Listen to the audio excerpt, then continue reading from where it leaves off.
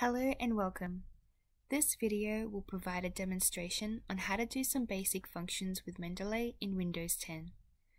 Mendeley is a free, web-based citation tool that helps manage and create computer-generated references you can add to your assignments in Microsoft Word.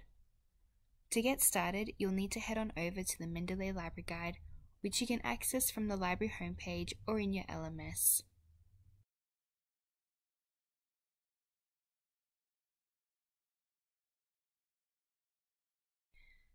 The Mendeley Library Guide provides links to helpful videos on how to create an account and how to use Mendeley. Inside, you'll find a tips and tricks document that provides step-by-step -step instructions on how to get started and what you should do next. You can also find frequently asked questions about Mendeley in the Library Research Skills tutorial in your LMS.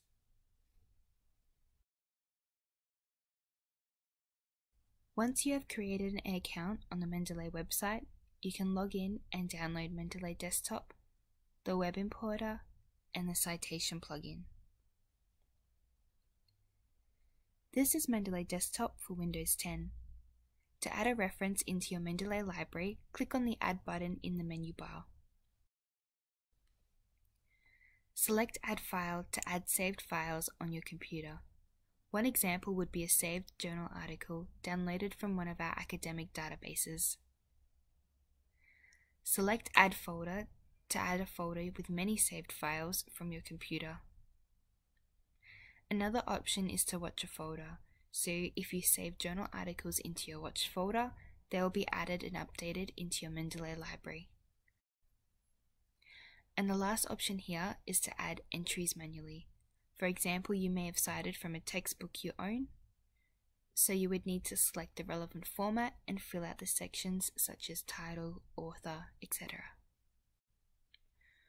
Once there are entries added into your library, you can edit the details on the right in the Details pane. As this article has a DOI, I'm going to click on the magnifying glass to search, retrieve, and check the details.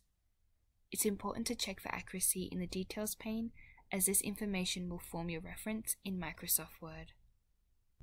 In the menu bar, you can create folders to store your references. Maybe you would like to create a folder for a class to store similar sources.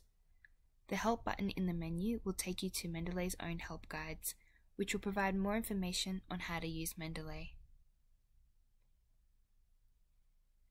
In your Microsoft Word document, you can find the Mendeley Citation plugin under the References tab.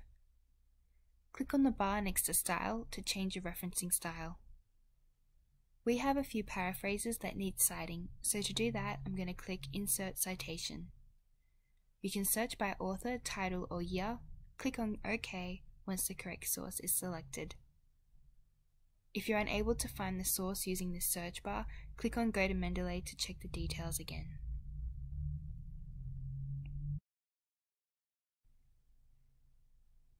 Once all in-text citations are included, scroll down to your reference list and select Insert Bibliography. This will create a reference list based on all the in-text citations you have included in your assignment from your Mendeley library. If you need to make any edits to references, we suggest making the changes in your Mendeley desktop in the Details pane. Changes will transfer in Microsoft Word by clicking on the Refresh button.